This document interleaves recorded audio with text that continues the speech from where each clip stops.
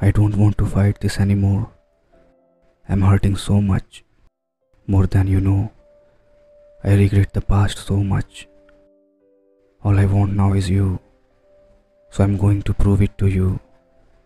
I have going to give you everything I should have gave you when we first met. I fear you won't accept my love.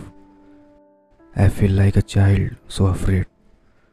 I don't know why I fear something so beautiful as you. I feel silly at times. I just want to be in your arms. I'm releasing my past, all the karmic aspects and karmic people that have just been using me. I wish you could see my progress. I'm learning to balance my heart and my mind in this connection, learning to trust in myself and letting go of my egotistical ways. I'm learning to just live in the moment and enjoy the present.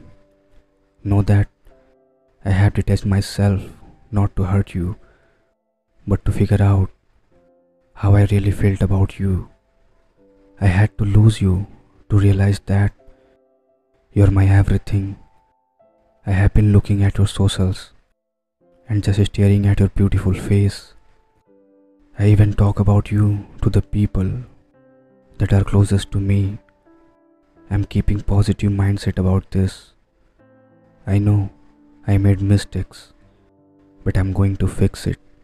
We can heal what once was and make it even better than before. I want to take a trip with you, just us, to enjoy every single moment together with no distractions. When I get you back, I'm never letting you go. I love you. Your DM.